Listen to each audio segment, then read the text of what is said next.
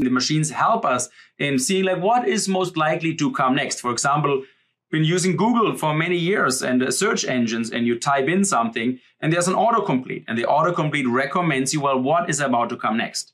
And here I, uh, I type attention is a limited resource. Yes. Or attention is all you need. Or just like attention is all you need, really? Yes. That is the famous paper that then came to the logical conclusion that if it's useful to make the input longer and longer and longer, and that helps us to fine tune our predictions, why don't we just take everything as an input and feed it in at once in parallel?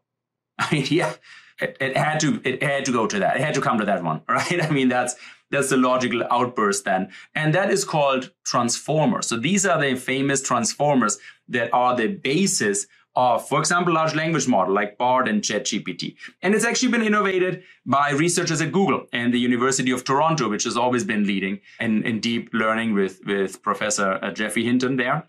And Google has pioneered it. So it wasn't ChatGPT and OpenAI. And they wrote this paper with a little bit tongue, tongue in cheek. Attention is all you need. And that paper really blew people's mind. It got in the first five years, it has, I don't know, 75,000, 80,000 citations. That's outrageous. That's the most influential scientific works like Darwin's Origin of Species, maybe. Like that's the ballpark where it had the scientific impact it had. It was really impressive and it blew people's mind. So what, what is that about? What is attention is all you need about? Well, the attention algorithm was actually known before, well, way before. So this was published 2017 and this paper is from 2015.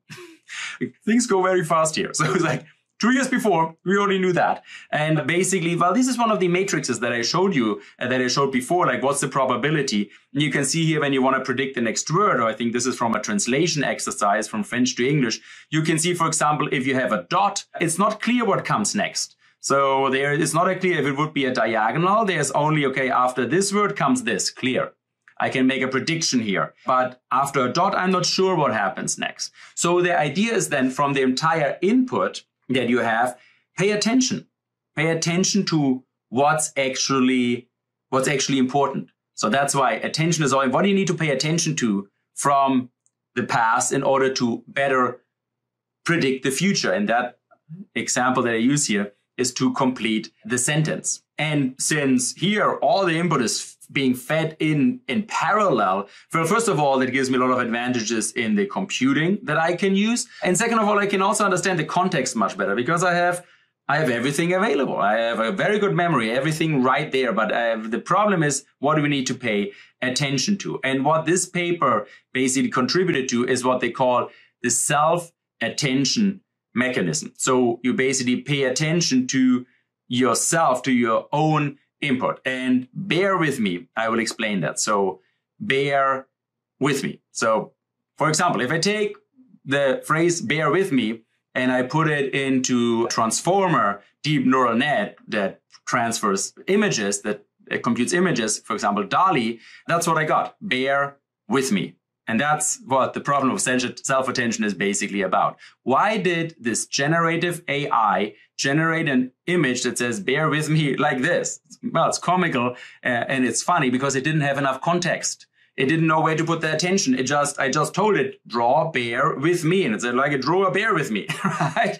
But that's not what I meant because the context here is we're in a lecture. I'm explaining a concept. And so I said, bear with me. So of course, if it would have had all the context, it would have been able to put it into its place and understand the meaning of the word bear. And the meaning of the word bear can have different meanings, as so many other words. For example, if the word geologist comes up and then the word rock, it probably has a different meaning than if in the vicinity or in the context of the word rock, you read about ACDC and Metallica.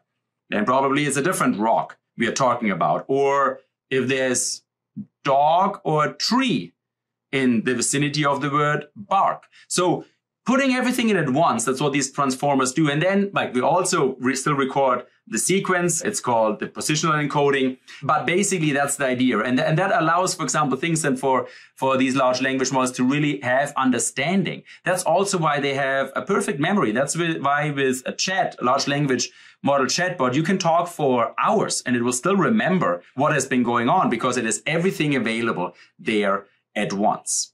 And that's what these large language models are actually based on, on these transformers. They feed in all the input at once.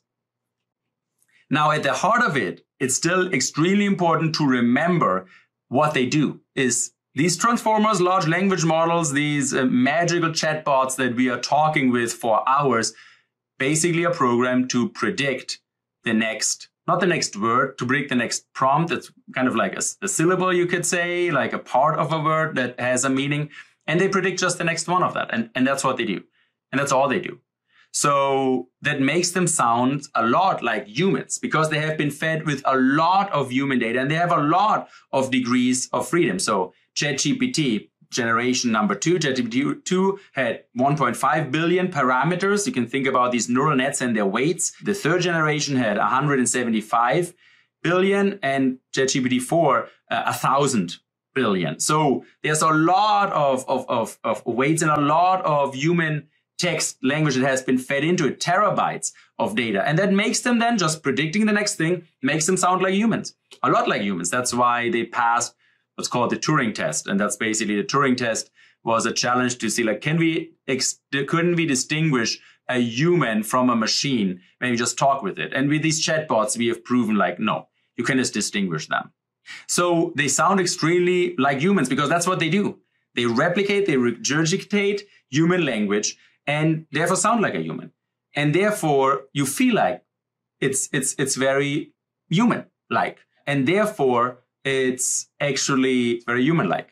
Now, the task is not to tell you the truth. The, ta- the task is what they are programmed. That's also why I extended myself explain it is to just sound like a human.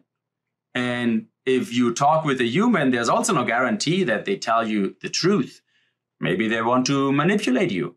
Maybe maybe they don't know the truth. Maybe there's no bad intention there. Maybe they just want to be liked.